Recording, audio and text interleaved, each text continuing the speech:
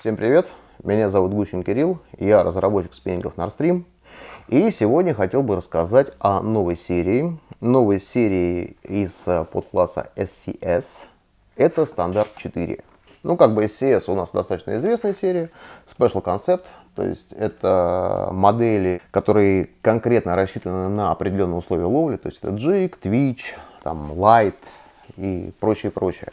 Вот пришла пора обновить, то есть у нас в этом году появились новые флагман 4, стандарт 4 и Rebel 2, кстати. И сегодня поговорим конкретно о четвертом стандарте. То есть что такое стандарт? Стандарт это спиннинги, которые рассчитаны для ловли на джиг. Факультативно можно ловить э, колеблющимися блеснами и вращающимся. Потому что строй вот как раз прям позволяет, позволяет. В чем отличие? В принципе, как бы по стандарту третьему информации в сети много, и ролики, и видео с объяснениями, и прочее, и прочее. Поэтому я остановлюсь именно на основных отличиях э, старой серии стандарт 3 от новой стандарт 4. Во-первых, спиннинги стали более сбалансированы. Спиннинги стали лежать намного удобнее в руке. Мы поменяли держак, то есть теперь у нас гайка сзади. Потому что народ наконец стал пользоваться фрогриппом при вываживании. И как бы если впереди гайка, это не очень удобно. Пункт раз. Пункт два. Самое главное. Самое главное в том, что спиннинги стали чувствительнее сильно.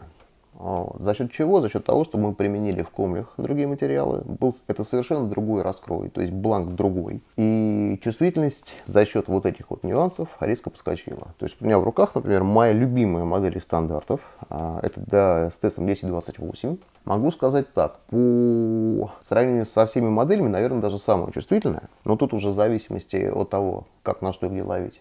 Но вот условия ловли, скажем так, 10-12 грамм голова и резина, ну там разного размера, скажем так, 4-5 дюймов. Ощущается работа джиг-головки вполне легко, спокойно, даже на листом дне. А, скажем так, по мощности Стандарты остались теми же. То есть вот этой вот унцовочкой развернуть 6-7 э, килограмм щуку вообще не проблема. Ты полностью контролируешь рыбу. По кольцам оставили Seagate LS, то есть кольца максимально легкие. Это опять же хорошо влияет на чувствительность. Что еще? Важный момент, это как спиннинг лежит в руке. То есть вот, если мы приходим в магазин, взяли стандарт, там, потрясли, как всегда, привычно все, вот, ну, ну, спиннинг. Ну, как бы можно найти даже, вот, если, например, сравнить с абсолютом, с нашим, разница вроде 4000 рублей, она есть, но не смертельно большая. Да, абсолют прям в руке конфетка и прочее, прочее. Вот стандарт, ну, не тянет он на конфетку в магазине. А дальше начинается ловля на воде. Вот на воде спиннинг превращается в абсолютно другую игрушку. Значит, нюанс. Первое.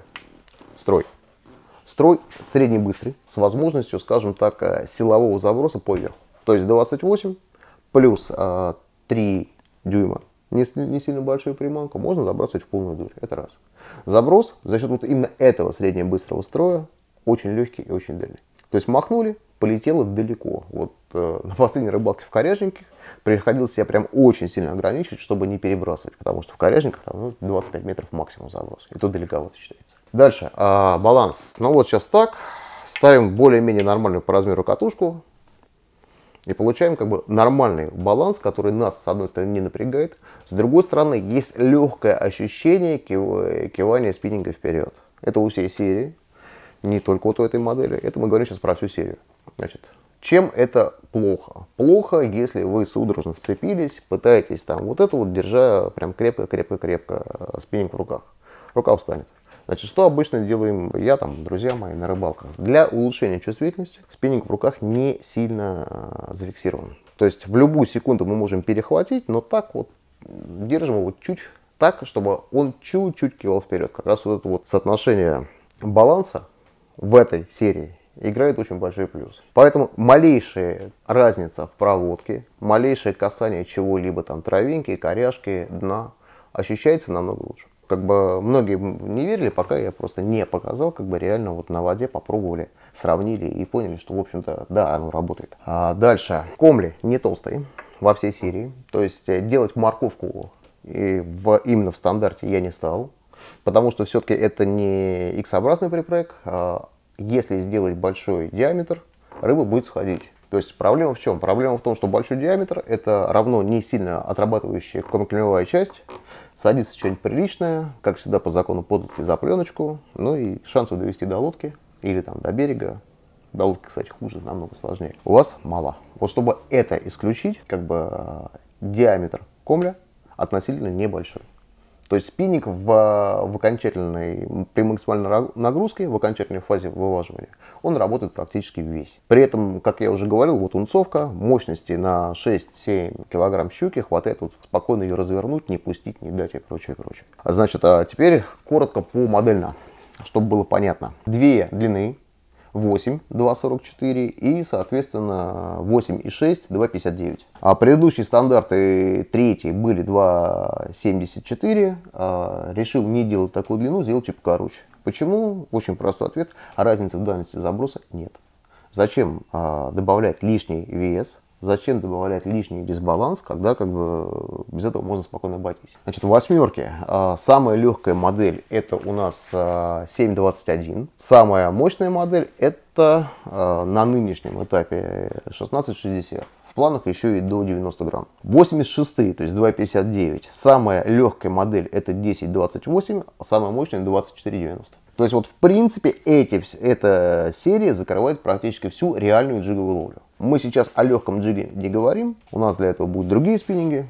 А вот именно конкретный джиг, когда там грамм с 7-10, начиная, если уж так вот приспичило, и заканчивая максимально тяжелыми весами, закрывается все. Более того, вот 90-граммовая модель Big Bait, э, где-то до 90-100 грамм, потому что давайте не забывать, что спиннинги джиговые оттестированы только по весу головы. То есть мы взяли, условно говоря, 90 грамм голову, добавили 3 дюйма, 3 дюйма весит грамм 10. То есть вот 100 грамм. В принципе, не самые большие бигбейты, там 19 сантиметровые, 18 сантиметровые, ими можно вполне э, ловить на самые мощные жесткие стандарты. А при этом есть, опять же, большой плюс, потому что вот этот нюанс всей серии, именно вот в строе, в работе на забросе и на вываживании, он как бы во всей серии прослеживается. И поэтому проблема забросить тяжелый вес, проблема сделать правильную проводку, она в принципе не стоит. Взяли, забросили, поймали. Что еще? В принципе, 1K это усиление, настоящий 1K, там это не как на бюджетных палках там делают рисуночек. Кольца достаточно серьезно примотаны, то есть проблем с этим не было ни в третьих, ни в четвертых. Ну и вершина, вот давайте я вам сейчас покажу, в чем нюанс серии, видите? Это средний быстрый строй. То есть я даю какую-то нагрузку, спиннинг вот отсюда гнется активно, потом все хуже, хуже и хуже, потому что он начнет работать при увеличении нагрузки. А, заброс, вываживание. Больше, кстати, на забросе. Вот. Чем мне очень нравится эта серия, повторю, очень важный момент. А, ты спокойно берешь, просто делаешь взмах, приманка полетела. То есть не надо выпрыгивать из штанов, чтобы кинуть подальше, не надо там что-то как-то извращаться, просто махнись. Полетит. Значит, по пресекаемости. Для меня больной вопрос в том плане, что я очень серьезно всегда подхожу к этому вопросу. Самое обидное, когда у тебя там на выбросе где-нибудь, когда ловишь судака, особенно там с берега или с лодки с катера кинул подальше, и на выбросе поклевка, а ты просто не просек. Вот в стандарте этого не будет. То есть а, вершинки жесткие, спиннинг включается в работу по подсечке сразу же. Ну, как-нибудь, может быть, сделаю даже видео, где объясню, как это проверить, даже можно в магазине. И, соответственно, проблем с тем, чтобы подсечь их не будет. Именно просечь рыбу и именно на большой дистанции, когда как бы у нас есть свес лески, там течение, еще что-то, ветер. Ну а вываживание я уже сказал, то есть здесь комли рабочие. Скажу честно, была в свое время была мысль сделать э, очень чувствительный, очень классный палки, но для этого надо было делать очень-очень-очень жесткий комель.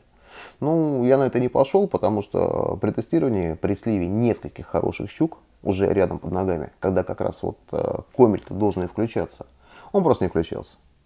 Ну и нормальная рыба просто уходила.